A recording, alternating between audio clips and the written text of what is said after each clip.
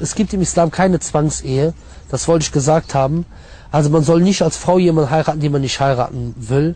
Man soll da keinen Druck auf sich ausüben lassen, denn der Prophet sallam sagt auch in einem sagt auch in einem Hadith: "Idha rada ahadukum yuzawwiju ibnatahu falyastamirha." Also das heißt, dass man eine Frau nicht gegen ihren Willen verheiraten darf und das ist eine sehr wichtige Sache.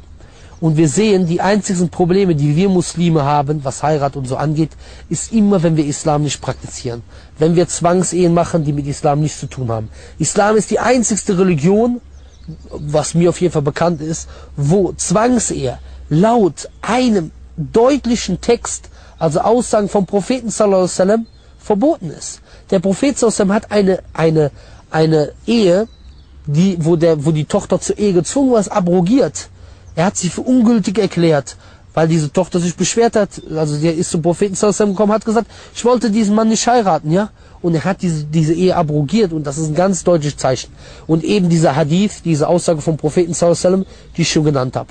Islam ist die einzige Religion, wo das ganz deutlich gesagt wird, dass man eine Frau nicht gegen ihren Willen mit irgendeinem äh, Strauchdieb verheiraten darf, sondern in allen vier Madhab, in den vier Rechtsschulen des Islam, des sunnitischen Islam, ist die Ijab und Kabul, also ist die, die Zufriedenheit, also dass die Frau auch diesen Mann heiraten will, eine Bedingung von der gültigen Ehe und eine Ehe, wo die Frau zur Ehe gezwungen wird, ist eine ungültige Ehe.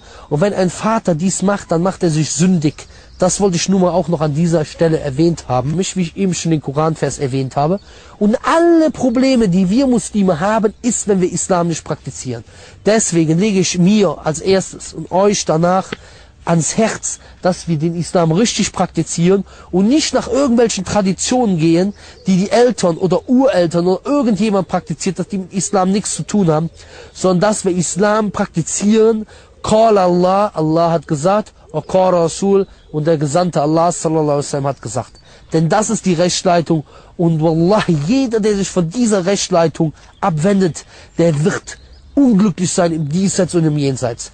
Das, diese Worte sage ich und ich bitte Allah um Vergebung für mich und für die Sünden der restlichen Muslime auf der ganzen Welt und bitte Allah, dass er alle Menschen in Deutschland auf den rechten Weg leiten wird.